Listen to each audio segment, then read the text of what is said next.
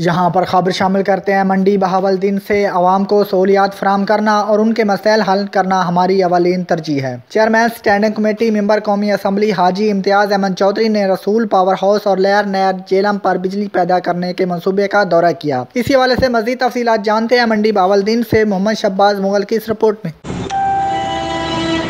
आवाम को सहूलियात फ्राहम करना और इनके मसाइल हल करना हमारी अवलिन तरजीह है। चेयरमैन स्टैंडिंग कमेटी और मेंबर कौमी असम्बली हाजी इम्तियाज़ अहमद चौधरी ने रसूल पावर हाउस और लोअर नायर जेलम पर बिजली पैदा करने के मनसूबा का दौरा किया। पंजाब एनर्जी मिनिस्ट्री का वफद भी खसूसी तौर पर इस मकसद के लिए मंडी बावलदीन आया।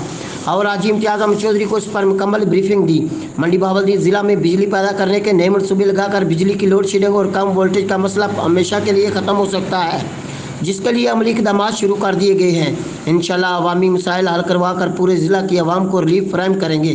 कैमरा टीम के साथ Shahbaz Mughal, City Five News, Mandi Bahauddin.